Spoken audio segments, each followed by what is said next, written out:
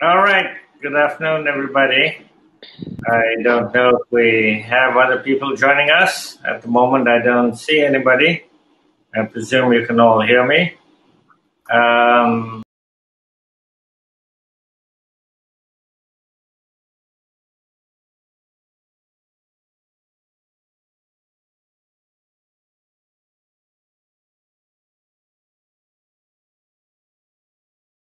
a couple of minutes to see if anybody else uh, joins us. Since at the moment my board shows that we're only four of us.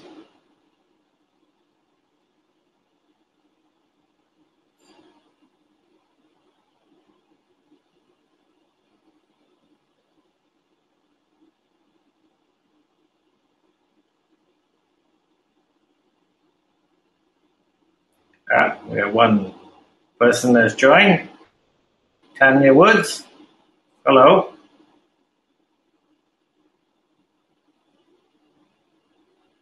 Hello, Mark.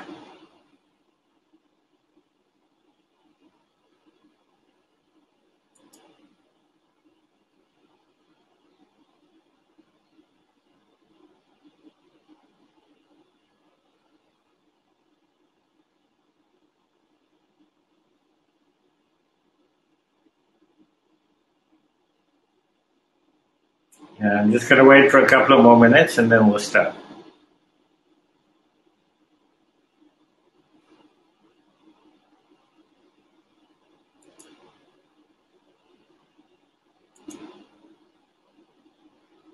Hello, Anne.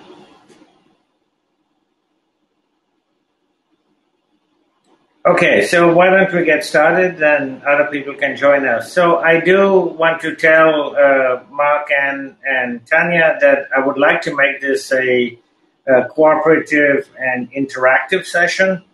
Uh, so I actually encourage you to ask any questions or make any comments you wish in the written form. Don't ask for the microphone, but in the written form in the comments below. So, our uh, topic this afternoon, with three distinguished guests joining me, is supporting the virtuous cycle. And it's basically, I think we have discussed this ourselves, and we're going to talk mainly about sustainability and creating the virtuous cycle. So, rather than just talk about uh, anything too specific, I would like to start us off with the general. And we have three distinguished panelists uh, from three different regions of the world. Uh, one is uh, based in Barcelona, one is based in Costa Rica, and one is based in London, England. So uh, we have, uh, and I am Firdaus Kharas. I'm based in Ottawa, Canada, where, believe it or not, we still have a little snow on the ground. So uh, I'm going to make some opening remarks and then invite our panelists uh, to give their opening comments. And then, if there are any questions or comments, I'll go to the floor. If not, I'll continue to uh, ask questions. So, for me, uh, sustainability obviously has uh, three dimensions uh, to it. Uh, and today, we're going to focus mostly on the environmental aspect of it um, because we're going to talk about creating the virtuous cycle. So, for me, uh, there are different parts of sustainability, including the topic that we have been given, which is uh, how do companies uh, create sustainability? Where is sustainability on our agenda uh, today? There's no doubt in my mind that uh, the world has changed quite a bit during COVID. Uh, and that one of the ways that uh, we have changed is, in my mind, the good aspect of COVID is that we have finally come to the realization that we are, after all, one human family. So that a virus that starts in China has affected quite literally every person in the planet. Uh, and that is that shows us in 2020 it showed us the interconnectivity of the world that what happens in one place uh, impacts all of us. The same uh, it, it, can be said for many other subjects. The same certainly can be said for climate change. Uh, you cannot have pollution, for example, going on in one country uh, without it being impacted on other countries and the world's environment. So, in terms of packaging, for example, in terms of what companies do, it is very important for us to all work together on common mutual goal of sustainability and sustainable development. Because if we were to do this in silos, I don't think we will meet the UN Sustainable Development Goals uh, by the time that we uh, have to meet them by. I think that when we look back at the Millennium Development Goals, which were created for 2000, the year 2000, it's very clear to me, and I think to most observers, that the world did not meet the Millennium Development Goals. Uh, and so, certainly, some goals were more easy to reach than others, and some countries reached them, uh, uh, certainly came closer to reaching them than others. But in general, the world did not meet the Millennium Development Goals. So now we have the Sustainable Development Goals. And at the moment, uh, certainly there are certain aspects of the Sustainable Development Goals and the progress that the world in general, and I'm generalizing, obviously every country is different, the impact that COVID 19 has had has been serious. There are serious reports, for example, that over a billion people have moved into poverty because of the result of COVID 19, uh, while the world was making considerable progress in getting people out of poverty until COVID 19 uh, hit. So, this is a serious and dramatic impact on the world. Now, the good news is, as I said, that I think that what has happened is that we know that we can't tackle issues like sustainability uh, uh, alone. That what we have to work together, and that we have to create standards, and that we have to have companies and governments all working together, civil society all working together in order to meet the sustainable development goals. It is not going to be achieved just by government. It is not going to be achieved just by NGOs. It is not going to be achieved uh, just uh, in silos, and it is not going to be achieved even in a region, let alone by a country. It is going to take great global cooperation. So those are my kind of opening remarks when we're talking about sustainability and uh, how we go forward. So I'm going to ask Nikhil to tell us from his perspective from the fashion industry. Like, how does a company decide to redo their thinking, to create thinking internally within their company to say sustainable goals are important to us. It is not just a matter of profitability, uh, and that we have more than the bottom line. And this is the avenue that we want to go in a company to uh, meet uh, in our little way the sustainable development goals. And then I would like to hear from him, and then we will hear from Cristina and Jordi. Nikhil, over to you.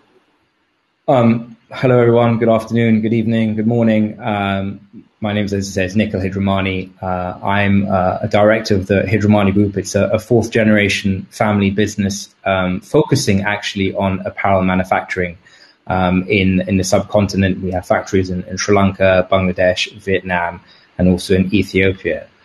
And uh, in terms of you know the sort of uh, highlight in terms of why sustainability is so important for us. Well, for, for in our case, it's really that you know I think in many ways being a family business and having those old roots, uh, we've always wanted to do the right thing. Uh, and for us, I've always looked at sustainability being very much in, in our values. Um, but it was really in, in 2005, 2006 when uh, an uncle of mine came into the office one day, having read Inconvenient Truth by, by Al Gore, uh, and came to us and said, basically, we need to do a lot more. Um, you know, this is what's going to happen, and we, we need as a family to do more than we're doing, especially on the environmental side. And it was that that kicked off, you know, our sort of more modern environmental sustainable strategy. Uh, and we we we opened a, a green factory, uh, a state of the art green factory, which became Asia's first ever carbon neutral factory, um, called Mihila, meaning earth in, in, in Sinhala in, in Sri Lanka. And, and after that, we've just initiated um, sustainability in all our existing factories. Um, our factories are LEED, our buildings are LEED certified. And it's really just evolved, the whole culture has evolved uh, in terms of being sustainable. Uh, now, in terms of, of, you know, is there business sense?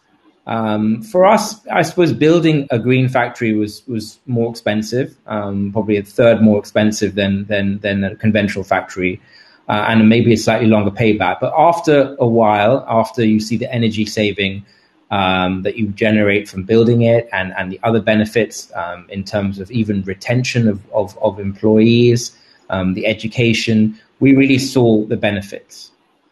Uh, today, I mean, I know this this sort of panel is more related to the whole cycle, and and so and for me, it's a very relevant topic in today's world, circularity. And talking more from an industrial, from an industry sort of angle. I mean, the industry, I mean, if fashion were a country, I think it would be the world's fourth largest CO2 emitter. I mean, it is, it is really, I mean, we are one of the most polluting industries in the world. And we, you know, in, in recent years, and you obviously have seen in, in, in, in the brands that, that are out there, there has been a lot of focus on being more sustainable and sustainable collections, um, uh, how uh, how brands actually relay their sustainable messaging. Um, it's true to fact as well that that uh, Gen, you know, the, the, millennials and Gen X um, aspire to to be associated with more sustainable companies. Um, and so there's a real focus, and, and as in your opening comments, as you mentioned about the fact that what we've gone through uh, in the last year, uh, and the fact that we've had no choice but to not shop and, and be at home and and actually not be able to travel. And actually, we've seen, you know, we've I know being in the UK, we've we've seen blue sky and, and seen the world, seen the environment, and we've all learned that you know many people have not even seen that. And for us, it's been it's been a, great for, for, for sustainability practitioners like myself. It's been a it's been a, a, a silver lining in terms of what has actually happened because we really are now at a stage where sustainability is going to be very much part of, of the new norm. When it comes to circularity, we are very accustomed uh, in the last 15 years to have lived in the fast fashion environment where you know the, the linear model of take make and dispose um, we're so used to going out and, and shopping on a very regular basis the sales um, and actually ironically 82% of, of, of what we buy ends up in landfill and incineration um, only actually, I would say, 8% of, of what we buy actually ends up in some sort of recycling. So it's an issue that needs to be seriously addressed. And uh, we as an organization have really sort of focused on this aspect now.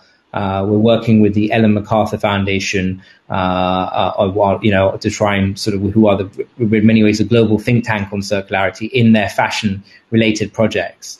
Uh, and the other point you mentioned about working together, um, I think it's very important that there's a sense of collaboration uh, amongst all stakeholders because the challenge with what we're trying to achieve is there is a cost and we need to see the economic sense, but we also need to work together. And I really see no sort of competitive advantage eventually in sustainability. I think it's something we all need to do. We all need to achieve the sustainable development goals. Our new plan is very much linked to the sustainable development goals. And I would say all 17 sustainable development goals relate to the apparel industry in some way or form.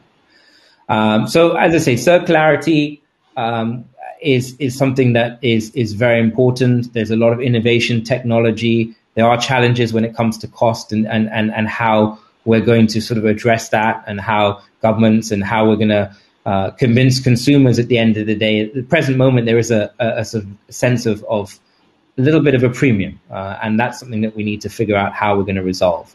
Uh, but it's all, as I say, positive for the future. I think what we've gone through is is very is is has helped that, and and uh, yeah, I mean, I think, um, but there's still a long way to go uh, in in the fashion industry. Thank you very much, Nikhil. So, Cristina, from your perch in Costa Rica, you're a specialist in sustainable travel. Uh, we have all been frustrated, those of us that travel around the world constantly.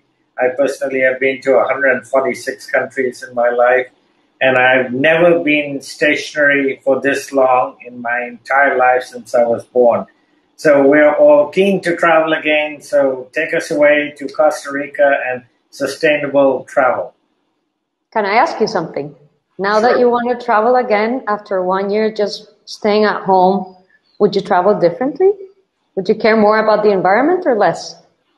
I would certainly care more about the environment, and I would certainly think that the world has changed in the sense that we are now so used to doing exactly what we are doing, having a meeting uh, on uh, on uh, the internet, that I think that there will be less certainly business travel, and I think there will be certainly much more interest in sustainable travel. So tell us about how you would convince us to come to Costa Rica and uh, and uh, engage in sustainable travel.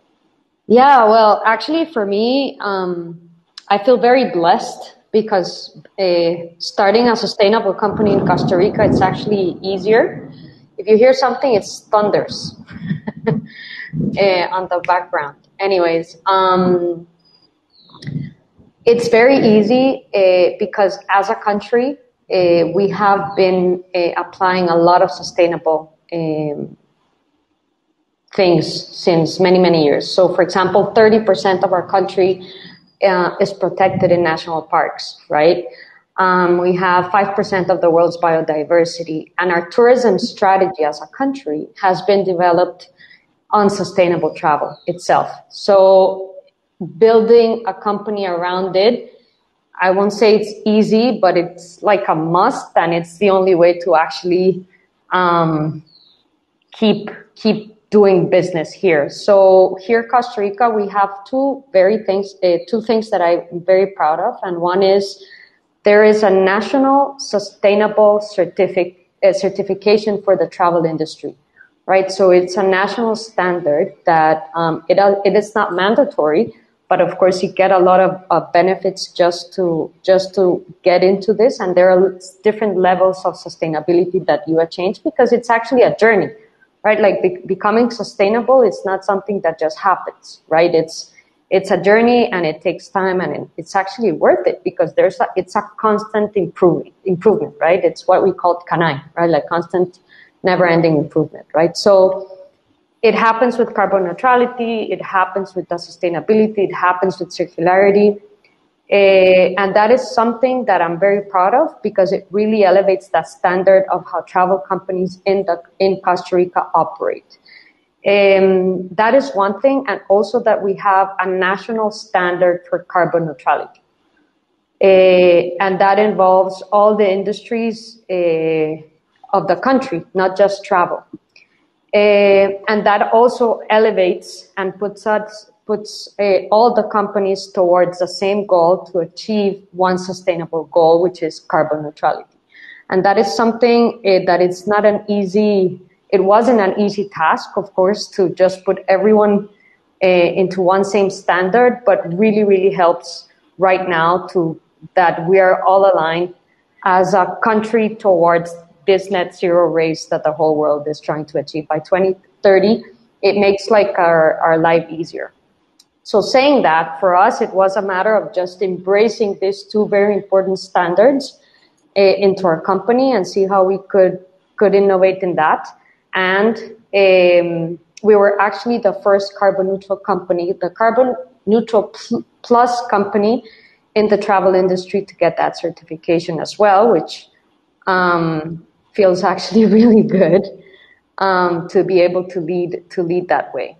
And um, regarding sustainability and the travel here in Costa Rica, something that, that I'm very passionate about, and what I think that travel is the catalyst actually of, of sustainability in the world, is that we're, we're constantly connecting with all different cultures, and we have the opportunity when we travel either to make a difference, make an impact, learn, and exchange that. And what happens here in Costa Rica is exactly that if someone that comes here that is not uh, very sustainable on their practices at home, they come here, right, and they go to a hotel and they order a drink, for example, and they don't have any straws, right, and they will ask for a straw, and someone will say like, yeah, we don't give any, right? And they will ask why, and they will learn why.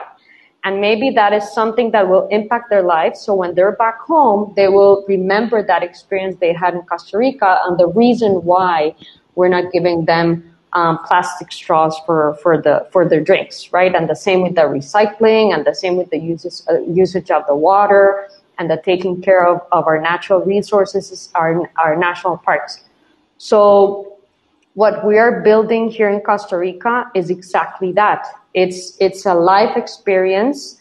Uh, with all of our sustainable practices that we're constantly learning and implementing, right? Um, but we have that opportunity to inspire other peoples around the world that just wanna that that that when they come here they will learn and fly back to their country and embrace those practices thank you very much cristina jordi over to you in barcelona to tell us about technology and how technology can create the virtuous cycle Thank you. Thank you. Well, first of all, uh, for me, it's uh, really a pleasure to be sharing this panel with uh, with you guys um, uh, and learning from from your experiences. Uh, so, really excited about uh, sharing also my thoughts on the sustainability, circularity, and the effects that if we are not able to, um, yeah, to solve the the challenge that we have in front of us could have on, on climate change and is already having. So, uh, my name is uh, Jordi Ràfols. I'm based in Barcelona, as you said. I'm co-founder and CEO at Innoget. It's a company offering a very holistic uh, approach to open innovation. Uh, so we, uh, in our DNA, uh, lies the idea of fostering technology scouting, cooperation, and co-innovation projects among a wide variety of stakeholders, from large corporations to startups, universities, you name it, uh, the scientific community as a whole. So, uh, at the center of our mission runs the idea of democratizing knowledge and technology transfer, as we have a strong belief that great things happen when people can cooperate together, right? So, business-wise, uh, we have been uh, uh, we have been been always sustainable, right? So everything that we provide is digital. So we bet for digital back in 2002. So this is more than almost 20 years ago, even when was uh, there was no LinkedIn, no Facebook, and in a very specific uh, uh, vertical, which is uh, innovation, creativity, technology transfer, and, and, and knowledge sharing. So uh, we all know we, we, you have already uh, of course, touched this uh, this point. So, in one way or another, the novel pandemic has affected each and every individual, government, industries, companies. So, it had a global uh, societal impact that has cost lives, taken millions of people, and brought uh, the global economy into an unprecedented uh, recession. Right. So that means that uh, um, there's some some of our uh, partners and clients and, and, members within our network. sometimes they ask me um, how is going to be the new normal, right? And uh, I, I, I, my answer is there is no new normal. So uh, the problem is already on the table. So we have to take action today. It's nice uh, to to uh, to think about how we're going to do it. So let's try to implement things. Uh, look at cost, but I think that we need to refine our purpose refining our purpose means that, uh, for instance, uh, from my point of view, uh, we need uh, uh, a kind of a different uh, type of management. So more looking into stakeholder value rather than into shareholder value. That is very, very important. So we need to stop thinking about just the return on investment and just putting more emphasis in what's one of the key elements or engines for any organization to really provide uh, something which might be either sustainable, circular, whatever you want to call it. But at the end of the day, uh, we are all here talking about something which is uh, one of the uh, uh, crises that we will be facing, right? And uh, we just need to just um, unhide ourselves and, and be more proactively understanding that this will come if we are not really changing lots of things, right? So it's it's a tough journey. It's not an easy thing, but uh, uh, from our uh, uh, environment, our industry, which is, well, we are involved in technology scouting, innovation, technology transfer. What we see in the market is that big corporations are more moving from a uh, kind of a structure where planning and uh, marketing and uh, process implementation was one of the were one of the elements that offers a competitive advantage for them into more a kind of an exploring uh, way of doing things. And that is also possible because of digital technologies and the way that uh, uh, yeah, many different technologies are allowing organizations to connect, which is also another thing which uh, we all need to uh, tackle into, right? So connection is uh, is key, and, and sharing knowledge in a more open way is also very important. So I, I would I would leave, leave it here, uh, but uh, I think uh, there's a lot to do, and uh, really uh, really happy and uh, really honored to to yeah to learn from Cristina and Gil about their experiences and and yeah have this conversation open. Thank you. All right. Thank you, Jordi. Okay, so what I'm going to do now is, unlike other chairs that I've seen, invite uh, the people who are participating in this uh, session to pose any question or comment that you want. Please type it. I can actually see them in the comments. Uh, please type it uh, if you have any questions or comments. I will uh, continue with asking our panelists questions, but I welcome uh, interaction and participation by those of you who are joining us. You obviously have an interest in the subject as well. But let me ask the, the panelists while we're getting those questions uh, a simple one. Uh, in each of your industries, in uh, in the fashion industry, in the travel industry, in the technology uh, space, are you optimistic, pessimistic? Uh, do you think that we're making enough progress? is there enough international cooperation in your industry?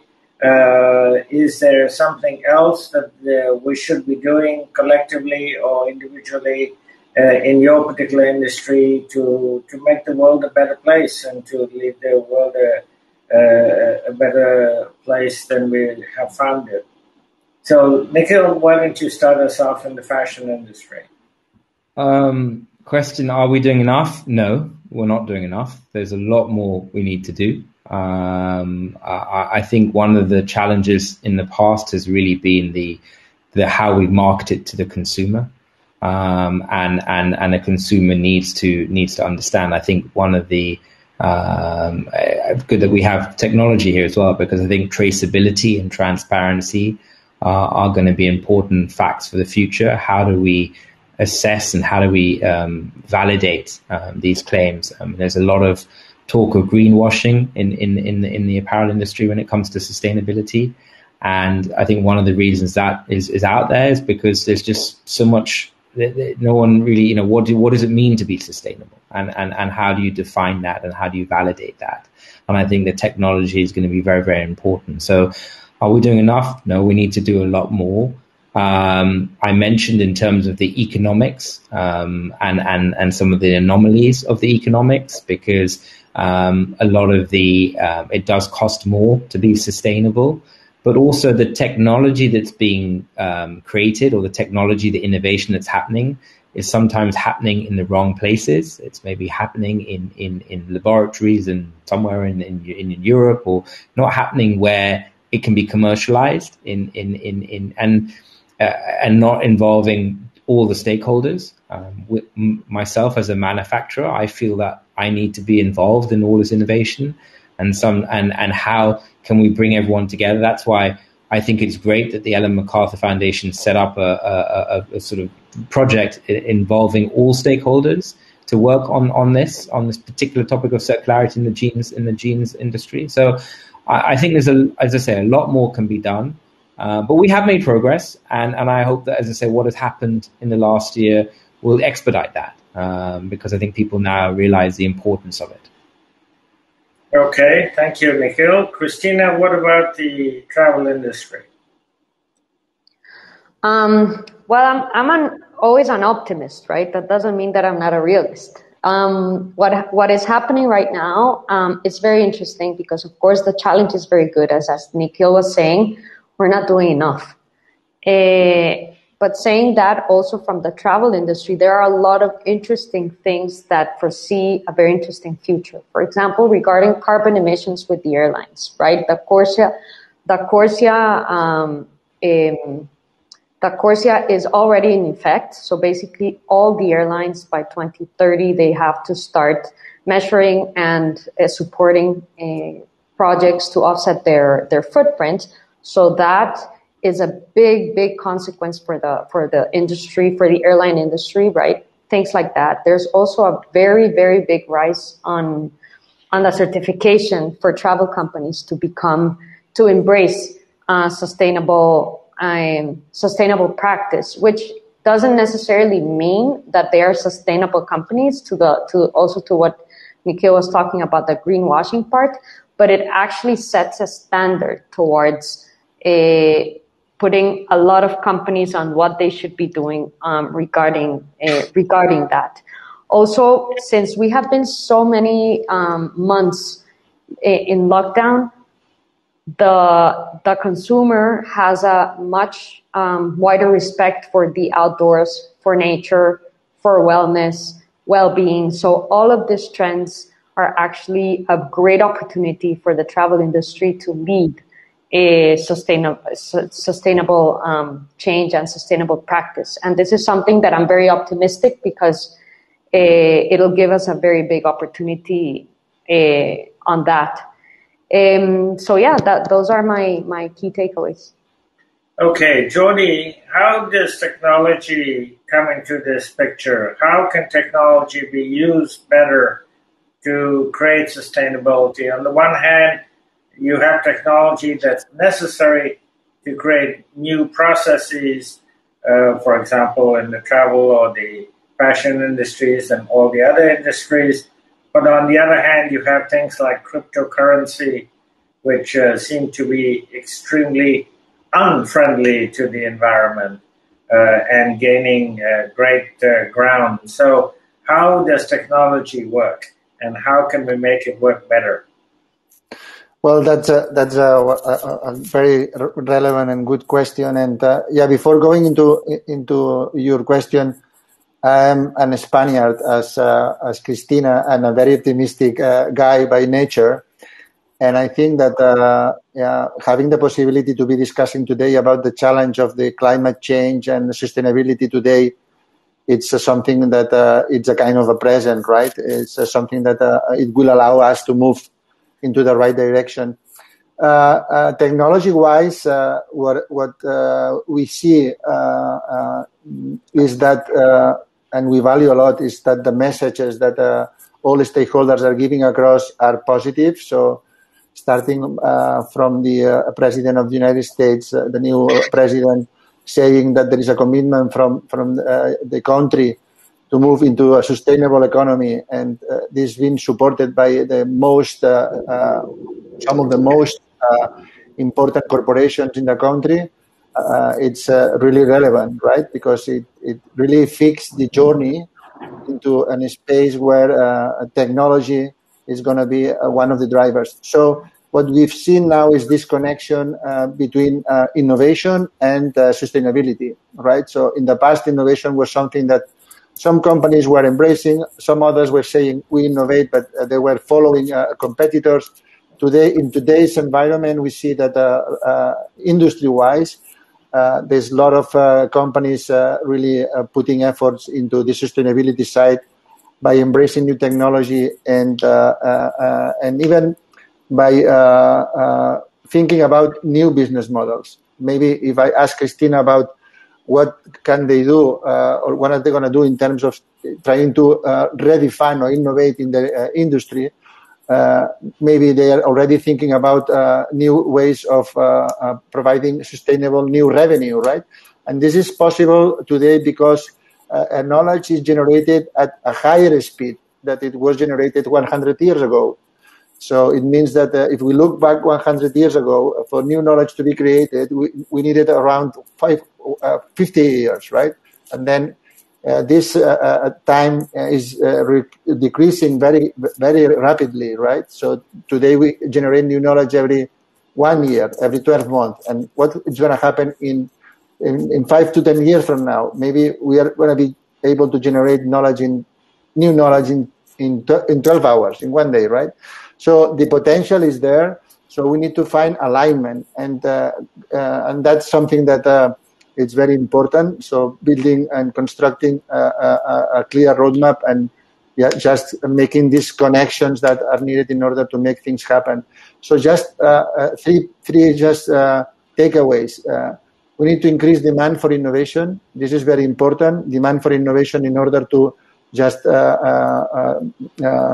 overcome the challenges of climate change and sustainability. We need to increase the supply of innovation. That means that we need to somehow educate the market.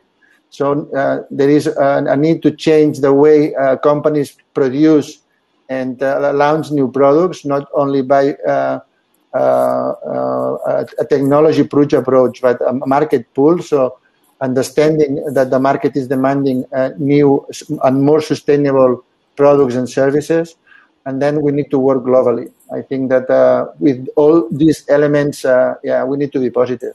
I think. Yeah, thank you. Um, just for the participants, I had uh, mentioned earlier, but I see there are different participants now. Uh, you're welcome to uh, make a comment or ask a question in the comment section by typing out your comment or asking a question. Uh, if you have any, I'd love this to be an interactive session. But uh, shortly to come back to what you, yes, you have something else. Yeah. I, I would like to ask just one question to Nikhil, if you allow me to do so.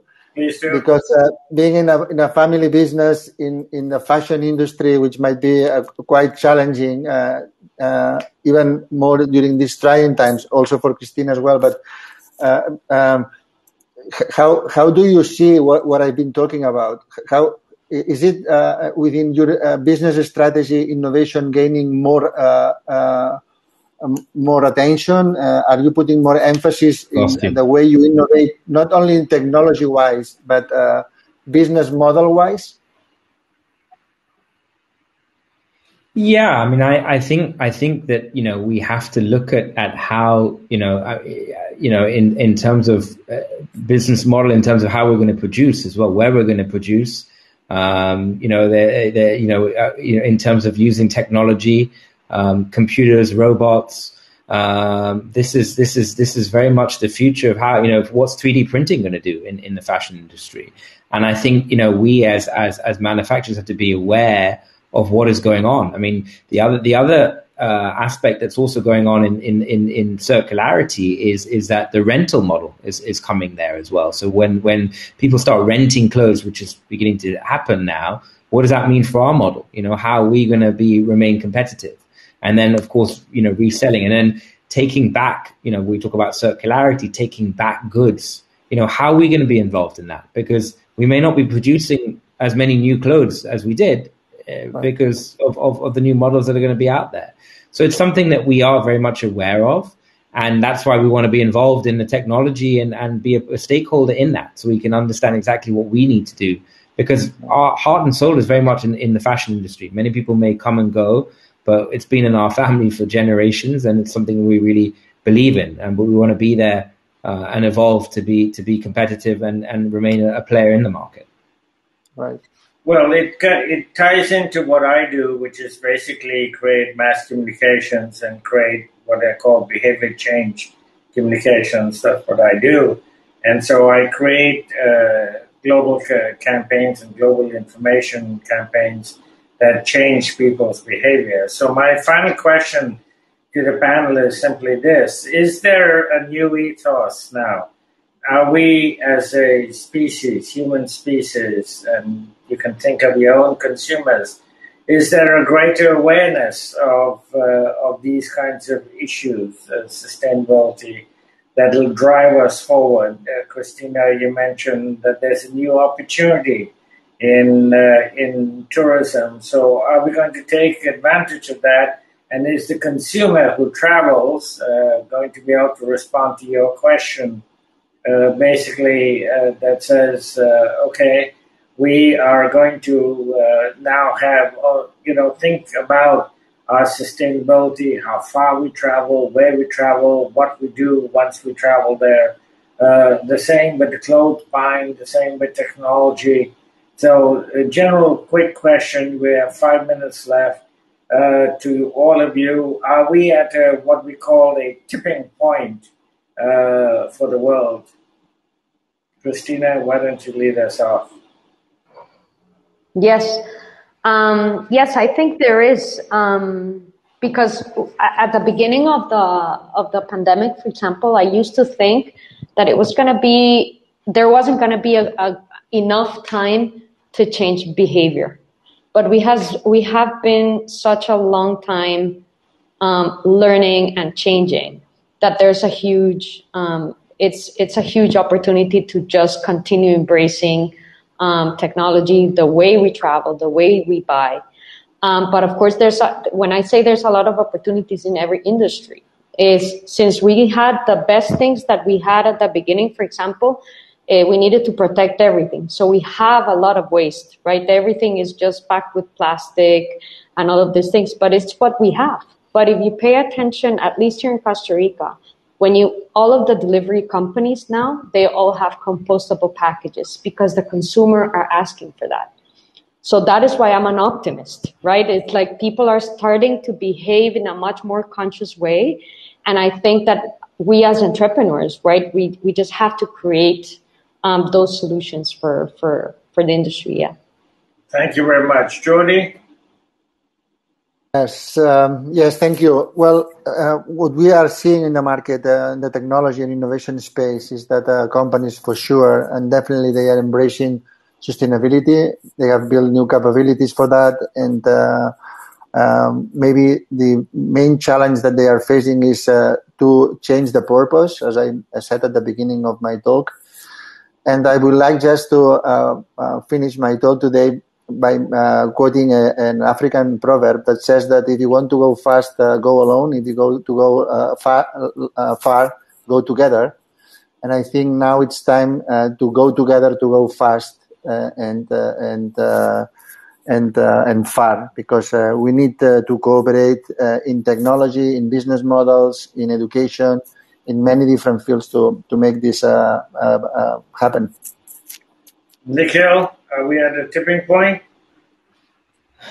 Um, we are, but I, I, still think we can't do. I think we need the support. I, I, I, think that you know the business case sometimes is still very hard to justify. You know, especially in, in the fashion industry, sometimes with you know we're still, as I say, in this fast fashion. You know, again, it costs money to be sustainable, right? So it, it, we're not. You know, we still need that support and, and we need that awareness. And and the role of governments, I think, is important. I think that you know certain governments now it's great to see what's happened in the US recently with with you know them joining uh, the climate, you know, uh, obviously going to be, you know, the, the, aspect there. But I think also other governments taking policies um, to create this awareness and, and following and, and, and walking the talk, as they say. Um, I, I, think everyone's got to walk the talk and and show and, and make people understand. So uh, there needs to be those resources. I mean, I, I think talked about education you know we need to get we need to get everyone working in the same in this we need collaboration amongst all stakeholders put it that way